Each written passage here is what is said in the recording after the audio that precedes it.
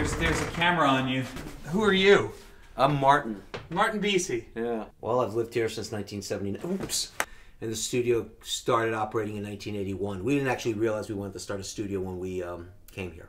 And you did a lot of records here. Sonic Youth Swans, a bunch of Swan stuff. Then there's the the infamous Rockit, the Herbie Hancock thing, Foetus, Unsane, The Dresden Dolls. And there's Afrika Bambaataa somewhere along the line there. And the Realistics. And the Realistics. How did I happen to, onto the Realistics, or how did the Realistics happen onto me? It was me.